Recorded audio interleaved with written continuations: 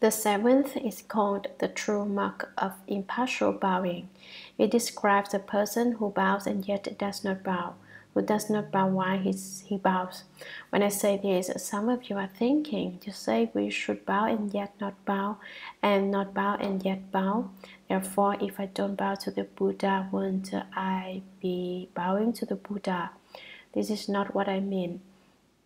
With this kind of bowing, although you bow to the Buddha, you are not attached to a mark of bowing to the Buddha.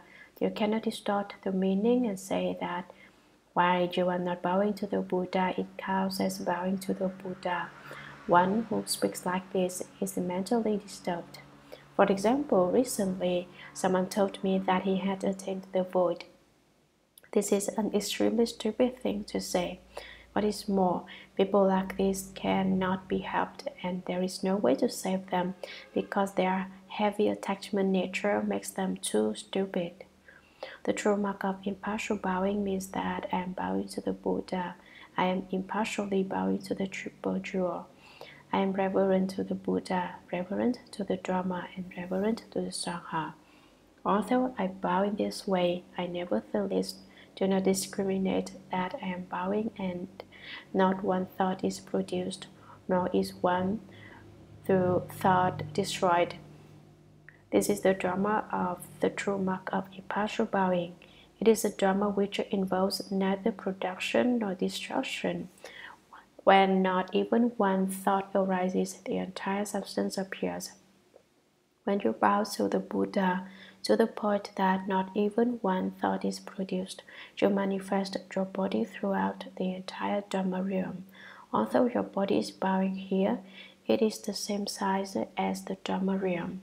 This is just the true mark which has no mark.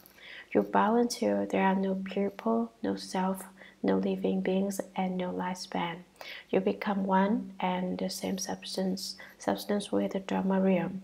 Your body is just the Dharma realm, and the Dharma realm is not it's your body. Is this not wonderful? Before, your body was just a speck of Mount and Mount was the size of a dust mote in a Dharma realm. But when you reach the point of the true appearance, which has no appearance, Mount is contained within your Dharma body. You now contain Mount. Is this not wonderful? You totally contain everything. Everything in the universe, in, in the universe is contained within your nature and you understand everything. The true mark of impartial bowing is inconceivable state. If you can reach this state while bowing to the Buddha, can you then explain all of his wonderful aspects? No, they are ineffable. This has been a simple explanation of the seven kinds of bowing which describe the proper etiquette and pro propriety one should observe while bowing to the triple jewel.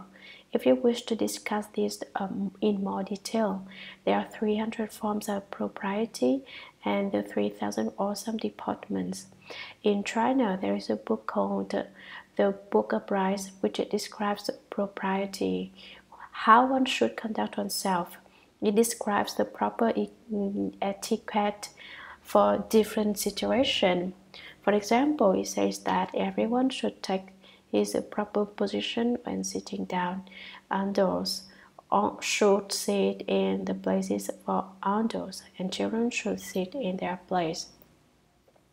Men have a proper place, women have a proper place, and elder people sit in their place.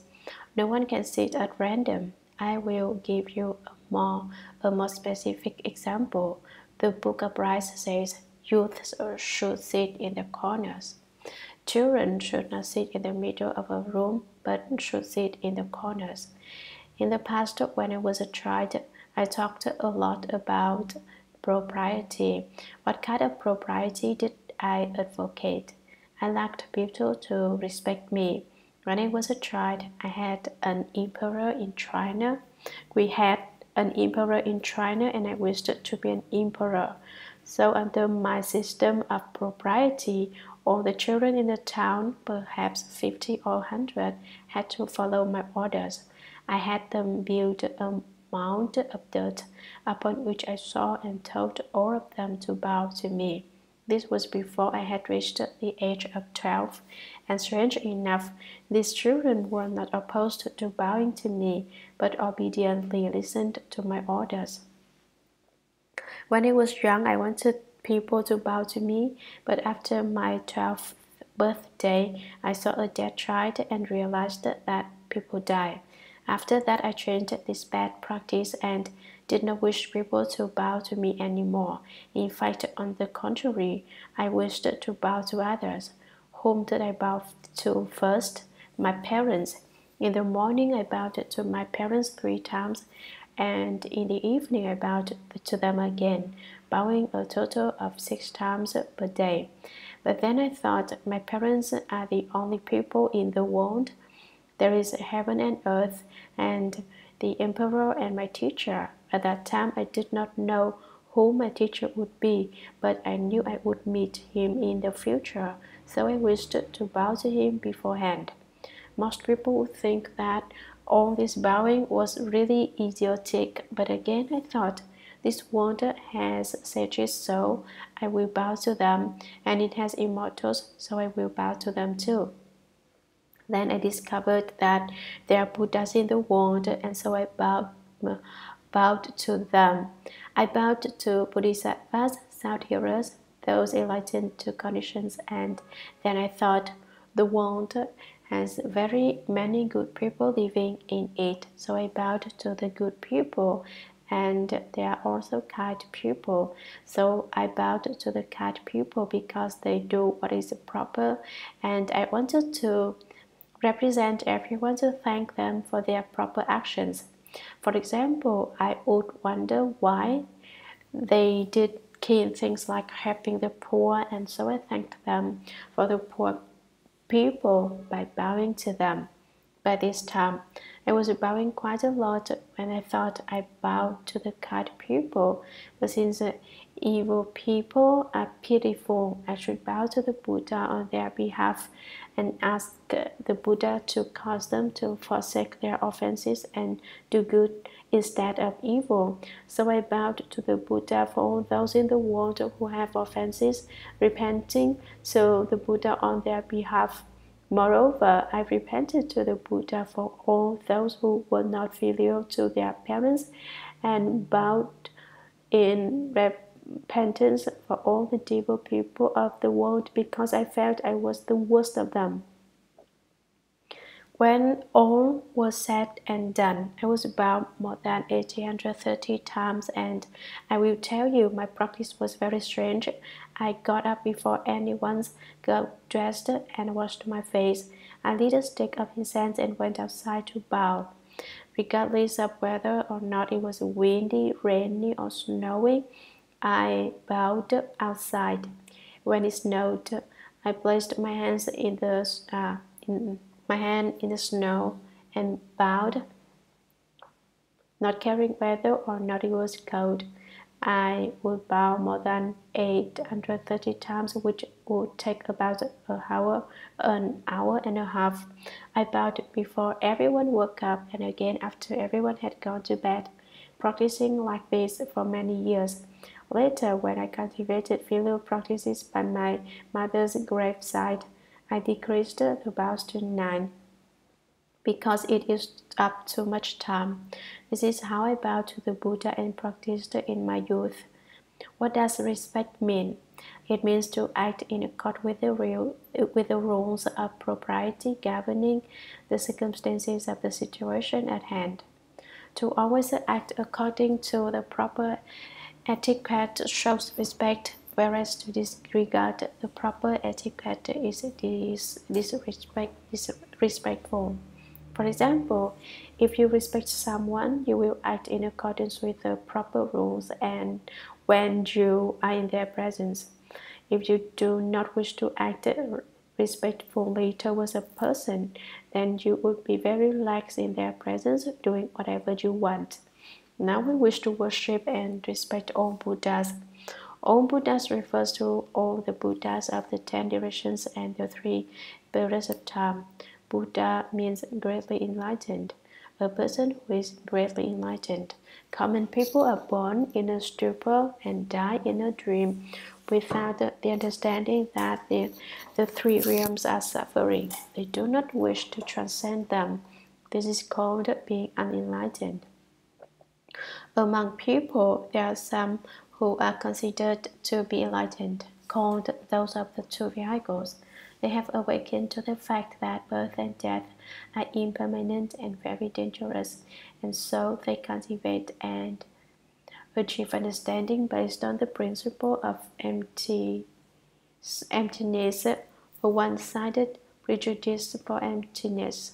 By virtue of understanding this principle, they enlighten to the dharmas of the travelings of causes and conditions and the Four Noble Truths. They are called arhats and those enlightened conditions and can be considered as enlightened ones.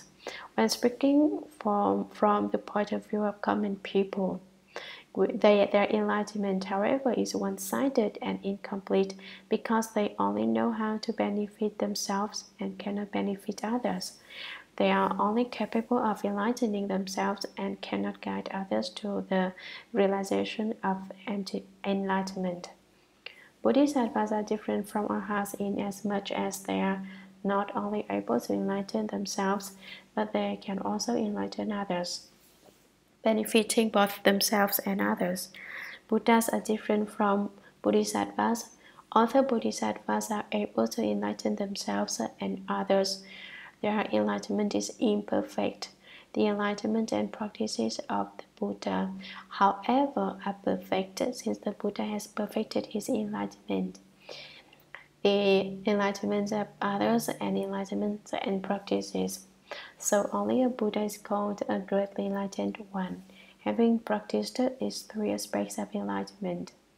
When person has perfected the 10,000 kinds of merit and virtue, he becomes a Buddha. Samovihika Buddhism only recognizes one Buddha, Shakyamuni, and does not acknowledge other Buddhas in the world systems of the other directions. The Dharma of the small vehicle was taught in the deer park of the five bhikshus for the five bhikshus, and as a consequence, those of the small vehicle only know of Shakyamuni Buddha becoming a Buddha and know nothing about all the, the immeasurable Buddhas in the world in other world systems. Because of this, they say that there are no Buddhas throughout the ten directions, and the three periods of time other than Shakyamuni. Now, is it true that there are no other Buddhas since they say that there are no others? No. If they recognize the other Buddhas throughout the ten directions, then those Buddhas exist. But if they do not uh, recognize those Buddhas, those Buddha nonetheless still exist. The Buddhas of the ten directions are only with Shakyamuni Buddha, so it is said. The Buddhas of the ten directions and the three Buddhas of time share one Dhamma body in common. Universal Worthy Bodhisattva made these ten far-reaching vows to guide his practice. All of the vows are extremely great to the point that they are inconceivable so that there's no way one can know how great they are. It is because of this that Universal Worthy Bodhisattva is called the King of Vows. For the first vow is to worship and respect all Buddhas. To worship and respect all Buddhas does not mean to worship only Shakyamuni Buddha or Amitabha. Worshipping one is worshipping all. One Buddha is all Buddhas worshipping all Buddhas without becoming attached to all Buddhas, and worship one Buddha without becoming attached to one Buddha is the practice of the true mark of impartial bowing. Although you bow to the Buddha in worship, regardless of whether it is one Buddha or all Buddhas, one should not become attached to the mark of worship.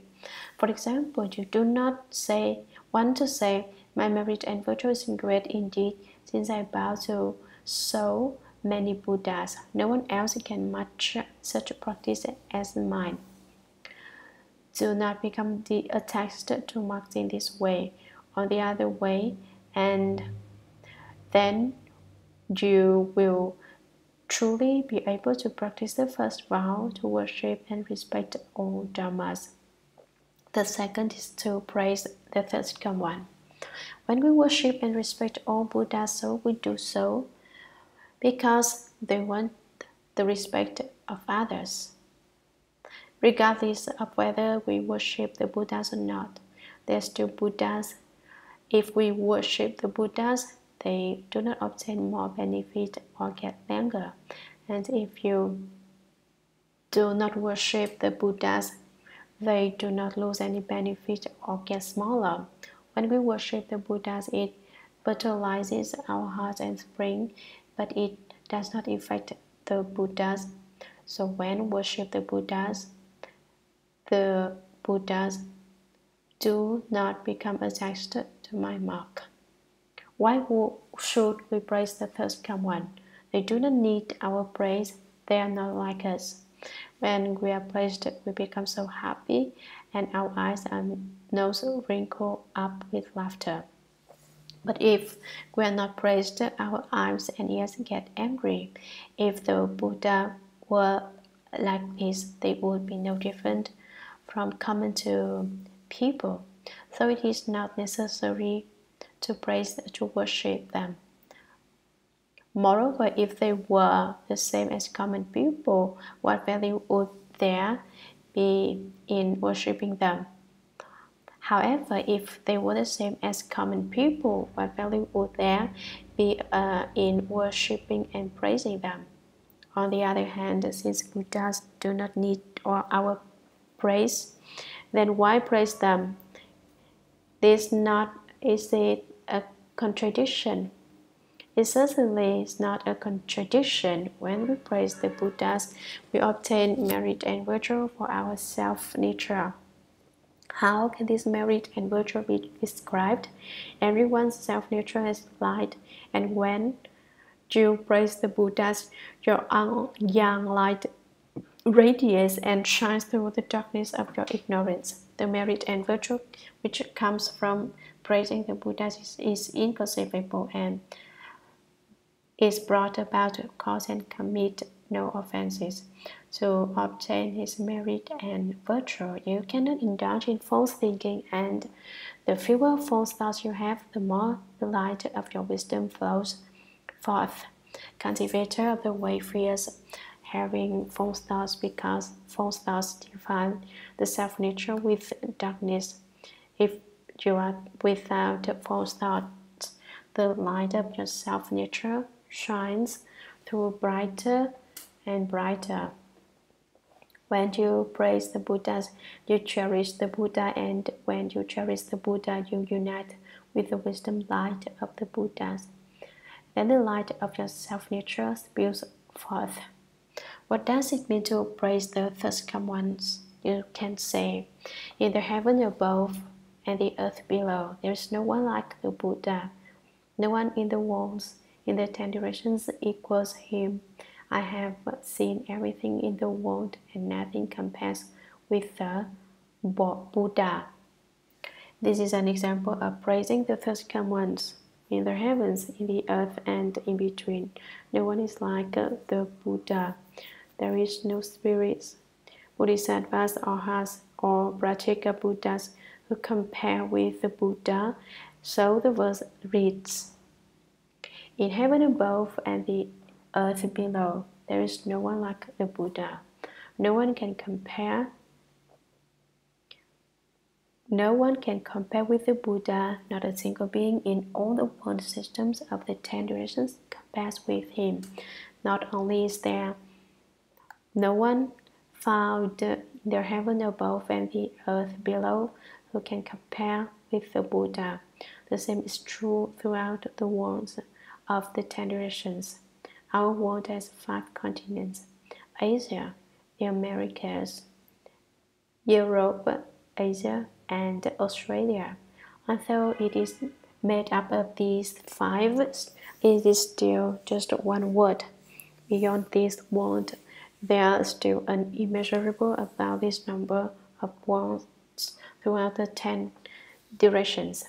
Now we send people to the moon in rockets. The moon may be considered one of those other worlds, but it is just one minute world among an infinite of other worlds. None of the great number of people uh, and creatures in all the worlds throughout the ten directions compares with the Buddha. I have seen everything in the world and within it. Nothing compares with the Buddha. This is what is meant by praising the Buddha's name. By praising the Thus Come Ones.